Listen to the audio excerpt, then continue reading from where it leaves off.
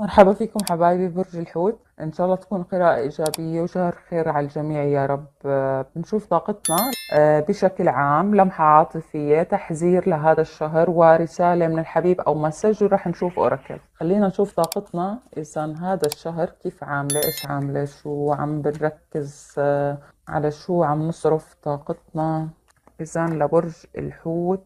هون عم بشوفها آه، نهاية يمكن آه، عم تصرف آه، يعني طاقتك لإنهاء شيء قديم في حياتك أو إنهاء علاقة ثلاثية. عم تصرف عليها طاقة لحتى إنك تنهيها. عم بشوفها على انتصار وعلى نجاح. إن شاء الله يا رب.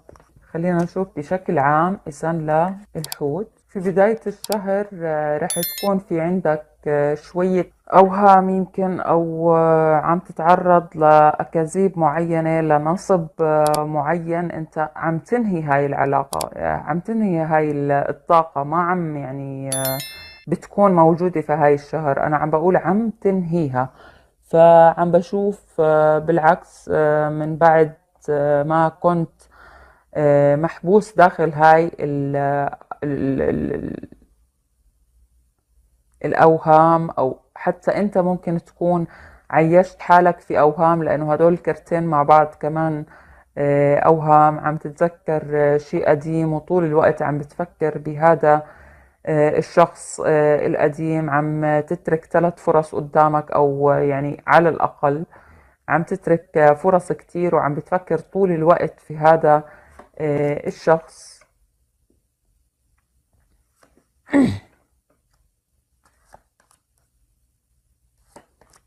شايفة سفر حلو كتير ل إيه لبرج الحوت. ممكن يكون عندك سفر على خير على موضوع انت حابب انك تعمله بيتم على خير. ممكن يكون سفر عند الحبيب مثلا إيه أو بعيدا عن الحبيب. التنتين محتملين. آه، هون عم بشوف آه، إنهاء لعلاقة ثلاثية في نهاية الشهر ما راح تكون بداية الشهر. عم بشوفهم آه، في آخر ممكن أسبوع لأنه ورقتين يعني علاقة ثلاثية بجنب بعض. الطاقات نسيت أحكيها بس نحكي إنه الطاقات عم بتكون هوائية بشدة. عم بتكون مائية عم بتكون ترابية.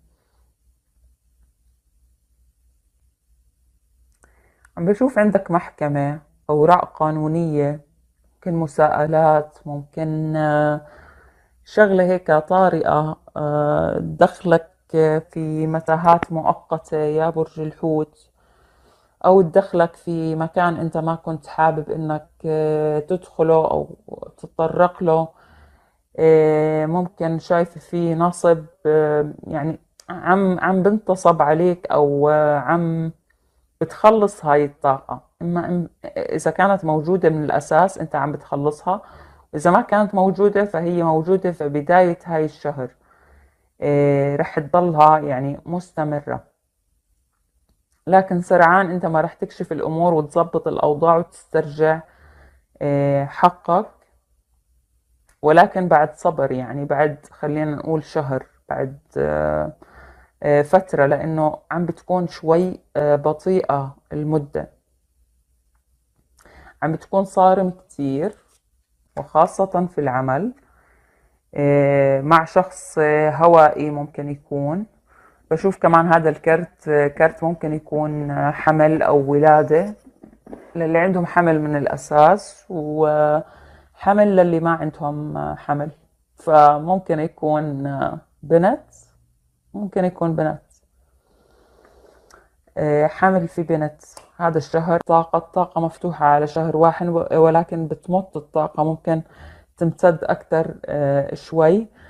آه، شايفة في رجوع لقديم.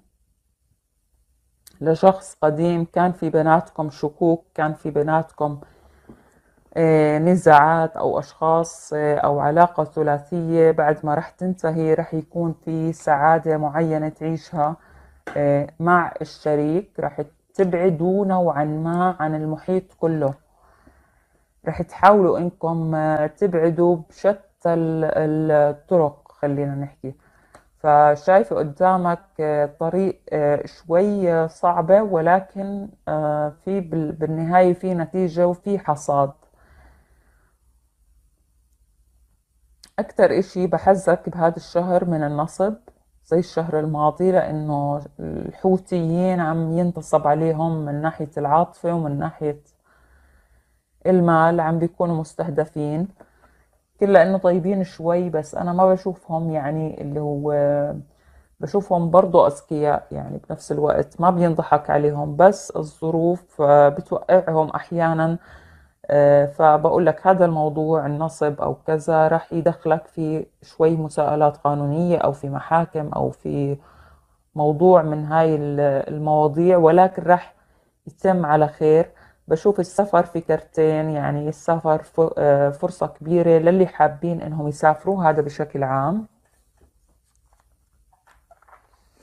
شايفة انتصار على آه، شخص في العمل خاصة إذا كانت طاقته نارية. ومائية كمان. خلينا نشوف لمحة آه، عن الوضع العاطفي. عم بشوفك ماسك حالك بالزور يا حوت. في بقلبك حب كبير كبير كبير.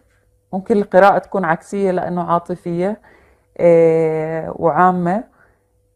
آه في بقلبك حب كبير كبير للشريك الشريك برضه نفس الموضوع ولكن التنين ماسكين حالكم بالزور عم تعملوا كنترول على المشاعر بصعوبة.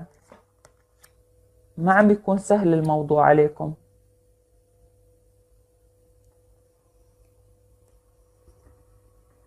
ما بعرف شو اللي صاير لهالدرجة لحتى أنت كتير تكون محتار وكتير آه، عم بشوفكم التنين آه، محتارين التنين عم تختاروا وأكنه يمكن في عندك أنت كمان علاقة ثلاثية أو هو عنده علاقة ثلاثية أو الاثنين مع بعض ما بعرف. بس آه، أكتر شيء عم تطلع في هاي الفترة على الذكريات على الشريك عم كتير عم بتطلع على الذكريات عم بتفرج على صورك عم يستعيد آه، ذكريات آه، كانت موجودة بيناتكم يمكن.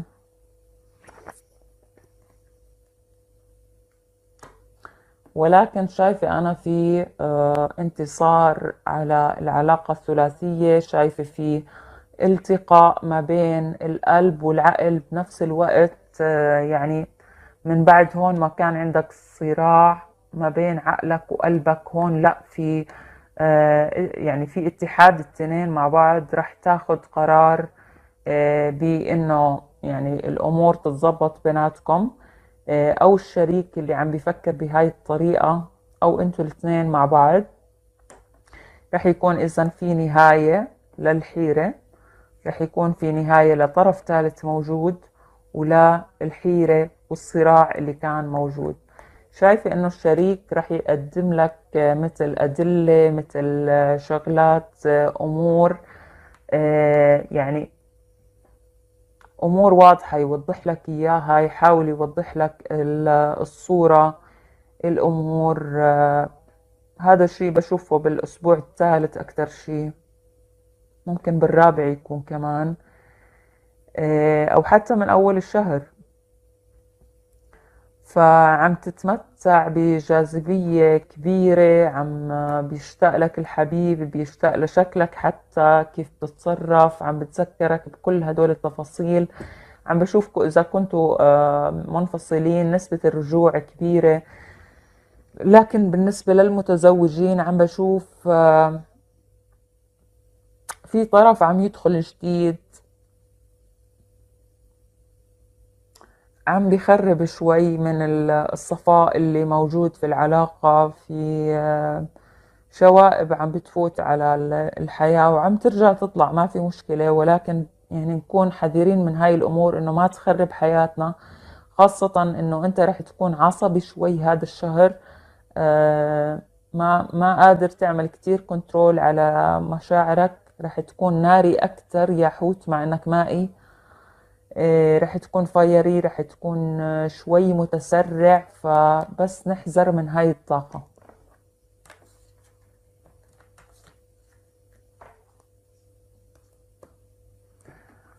آه نشوف شو تحذير هذا الشهر لبرج الحوت. برضو علاقة ثلاثية ما بعرف يا حوت ليش هيك عم يطلع لك. علاقة ثلاثية عم تجول في, ال في, ال في الأفق. قلنا في انتهاء للعلاقة الثلاثية ولكن ممكن تمتد لأنه هذا التحذير يعني عم بشوف رقم 11 رقم 12 فممكن تمتد الطاقة شوي لهذا الطرف الثالث. شوف message من الحبيب إذا كان بعيد أو قريب أو آه، كلمة منه message معينة ما قادر يقولها. آه، نفس الكرت اللي طلع لبرج يمكن الجوزاء. آه، بيقول لك إنه هو كوعد أو وعد هو إنه رح يحقق لك الأمان اللي أنت بتحلم فيه رح يحقق لك الجو اللي انت بتحلم فيه في العلاقة آه، في عرض معين هو رح يقدم لك إياه. بس بيقول لك ويت كمان ويت مي إنه استناني. في في أمر هو مخبيه لإلك في أمر هو آه، بده يوضح لك إياه وكأنه. هذا الحبيب عم يحبك بطريقة فظيعة. ولكن على قد ما في حب على قد ما في تحديات في علاقتكم. عم بشوف. نشوف oracle. لا. الحوت. have fun يا حوت. بكفي بكفي stress بكفي كذا. اطلع للأماكن اللي كنت تطلع عليها وتنبسط. آه، ابسط حالك آه، رفه عن حالك شوي اطلع من ال mood اللي انت حاطط فيه حالك لك فترة. وأنا ما بلومكم يعني الظروف هي اللي كانت آه، صعبة يعني مش انتو بدكوا هذا الموضوع ولكن انتو كنتوا عم تعيشوا هاي المواقف إجباري يعني قدريا. فبس بيقول لك هافن حاول تخفف عن نفسك بانك تعطي حالك طاقة إيجابية. زي ما قلنا تطلع على أماكن بتحبها تستمتع في الحياة. بكفي يعني كتير التفكير والطاقة السلبية. ف...